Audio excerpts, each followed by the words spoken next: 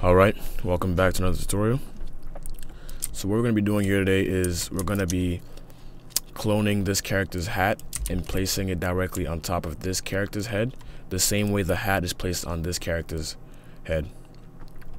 We're going to be getting the C-frame offset of the hat from the character's head. Okay? And to do that, we're going to be using a method, a C-frame method called to to world space to get that offset. So let's start off by referencing both the reference dummy and the clone dummy.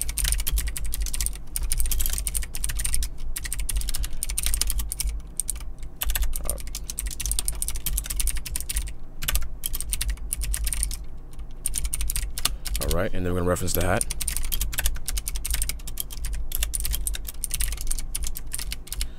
Okay.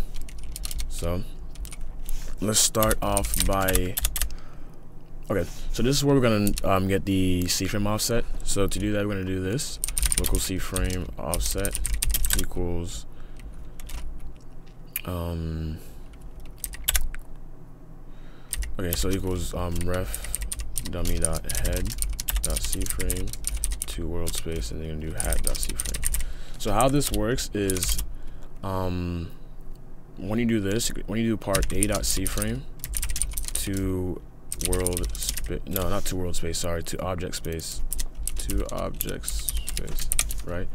So when you do that to object space, um, and then b dot c frame, this here basically um, returns the returns b's c frame offset from um, point a, okay, or C frame A.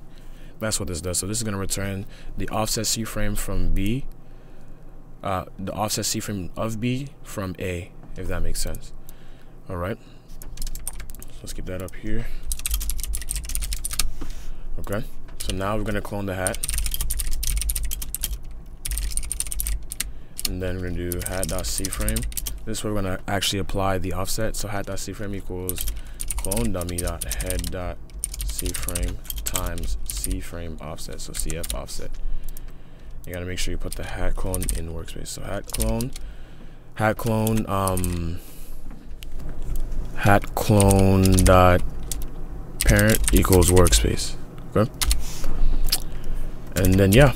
So if I go back and do this paste boom so you can see that the hat cloned the exact same way on this character's head of the way that it was on this character's head. So if I were to rotate the hat backwards, like so, right, it will do the exact same thing. You'll get the uh, orientation since we're using C-frame, it's going to get the orientation as well. Um, same way if I were to just rotate this character like this or something, under that the exact same thing. So it's gonna copy and paste it the exact same way on the clone dummy right? Getting the offset c-frame offset and stuff. This can be used for morphs and other stuff like um, for example I was using it for a, a, v, uh, a VFX um, tweening stuff like that like copying it from a model getting the end size and stuff.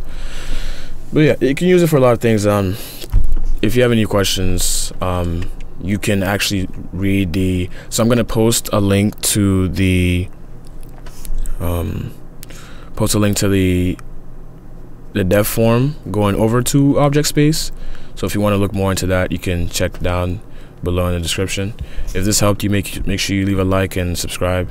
And yeah, catch you later.